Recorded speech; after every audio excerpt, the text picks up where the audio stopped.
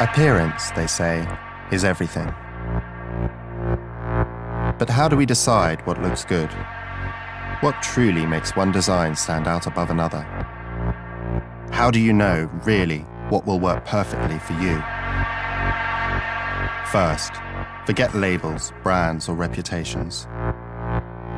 It's your eyes that count. Use them. Trust them. Unravel the intention behind the design. Now, assess the silhouette in search of elegance.